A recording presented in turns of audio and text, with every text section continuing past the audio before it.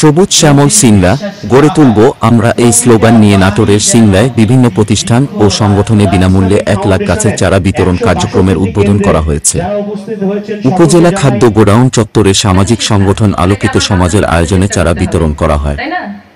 ডাক টেলিযোগাযোগ ও তথ্য প্রযুক্তি প্রতিমন্ত্রী জুনাইদ আহমেদ পলক গাছের চারা বিতরণের উদ্বোধন করেন তার সহধর্মিনী সিংড়া উপজেলা আওয়ামী লীগের সহসভাপতি ও আলোকিত সমাজের সভাপতি আরিফা জেসমিন কনিকা মাসব্যাপী বিতরণকৃত চারা গাছের মধ্যে রয়েছে জলপাই আমলকি তেঁতুল বহেরা।